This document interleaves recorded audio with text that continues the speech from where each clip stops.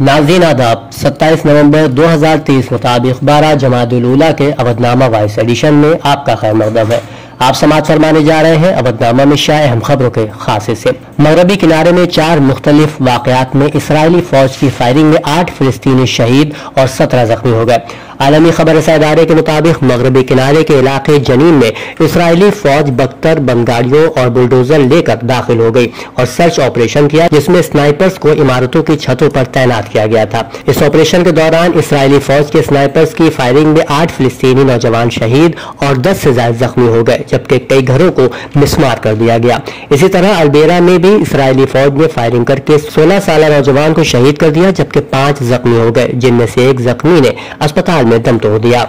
यौम आइन के मौके पर सद जमहूरिया द्रौपदी मुर्मू ने इतवार को सुप्रीम कोर्ट के अहाते में डॉक्टर बी आर अंबेडकर के मुजस्मे की नकाब कुशाई की।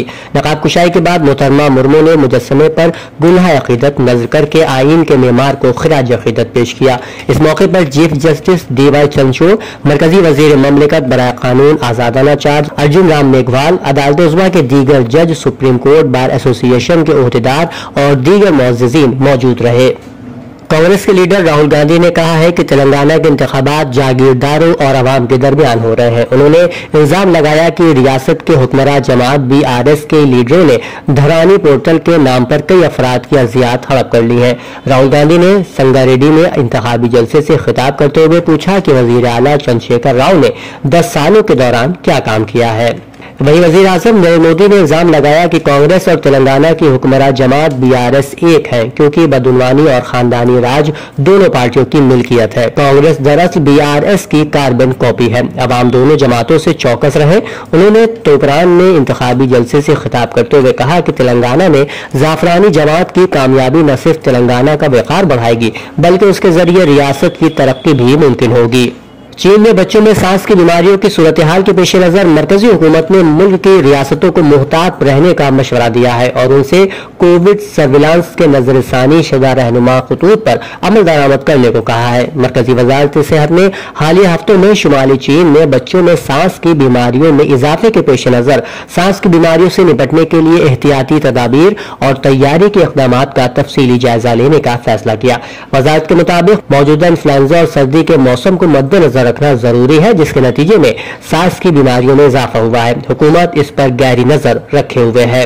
All India Muslim personal law board ने यूपी हुकूमत के उस इकदाम पर सख्त तनकीद की, जिसमें उसने मुसलमानों के बास रजिस्टर्ड इदारों के ज़रिए हलाल सर्टिफिकेट जारी करने को गैर कानूनी करार दिया है। बोर्ड के मुताबिक ये फैसला मजहबी मामला और मजहबी आज़ादी में मुदाखलत और मुल्क के मफाद के मुनाफी है। All India Muslim personal law board के तर्जुमान डॉक्टर सैयद कासिम रसूल इलियास ने एक प्रेस बयान में कहा है कि इस्लाम ने अपने मुतबीन के लिए खाने पीने और रहन सहन के कुछ आदाब और जवाबित मुतन किए हैं, जिसकी पाबंदी मुसलमानों के लिए ज़रूरी है। ऐसा ही मामला दीगर मजाहब का भी है। उन्होंने कहा कि मुस्लिम पर्सनल लॉ बोर्ड मुतालबा करता है कि योगी हुकूमत अपने उस दस्तूर मुखालिफ और मुल्क मुखालिफ इकदाम को फिलफौर वापस ले और हर बात को हिंदू, मुस्लिम मुनाफरत और समाजी तकसीम का हिस्सा बनाने से गुरेज करे। एक बड़ी पहल करते हुए लखनऊ के मशहूर समाजी खिदमत गुजार तंजीम अंबर फाउंडेशन ने धैर्य आई ए एस के साथ मिलकर कलेक्टर बिटिया प्रोग्राम शुरू किया है, जिसके ज़रिए गरीब घरों की होनहार बच्चियों को मुफ़्त कोचिंग दी जाएगी, ताकि उनके कलेक्टर डॉक्टर बनने के ख्वाब को पूरा करने की कोशिश में घर की बदहाली हायल न हो।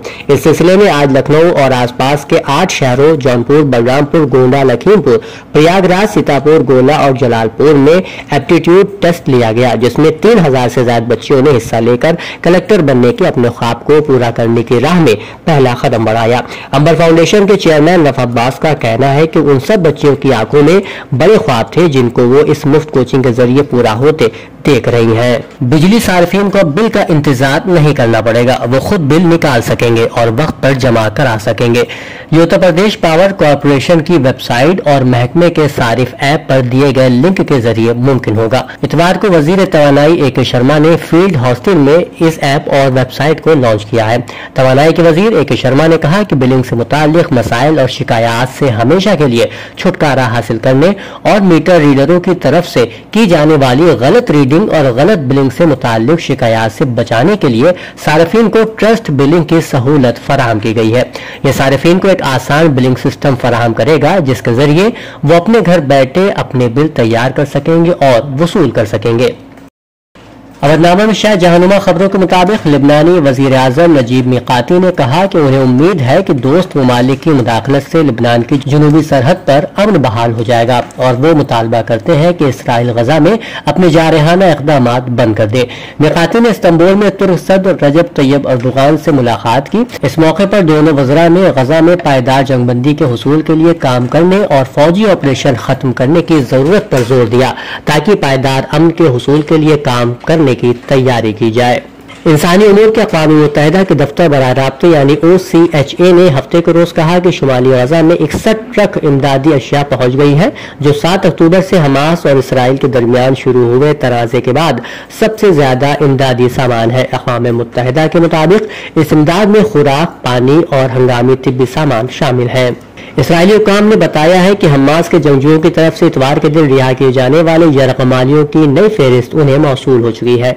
इसराइली हुकूमत और हमास के जंगजुओं के माबैन यरगमालियों और कैदियों की रिहाई की डील पर कामयाबी से अमल दरामद जारी है। एक और खबर के मुताबिक सिया फार्म अमरीकी शहरी जॉर्ज फ़्लाइट के कत्ल में 21 साल कैद की सजा काटने वाले सबक पुलिस अफसर डेरिक शावेन जेल में कातलाना हमले में जख्मी हो गए हैं।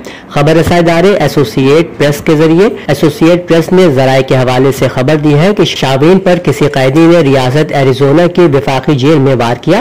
ताहम खबर में ये वाज नहीं है कि शावेन पर किस किस्म के आले चाकू या छुरी से हमला किया गया है। आपको बता दें कि डेरिक शावेन वही सबक पुलिस अफसर है जिनकी एक वीडियो 2020 में वायरल हुई थी, जिसमें उन्हें जॉर्ज फ्लाइड नामी शख्स की गर्दन पर घुटना टेकते हुए देखा गया था। नामा में शायद मजामी को मुकम्मल तौर पर पढ़ने के लिए अवधनामा की website W W dot Avadhnama dot com पर विज़िट करें और ई पेपर पर क्लिक करें।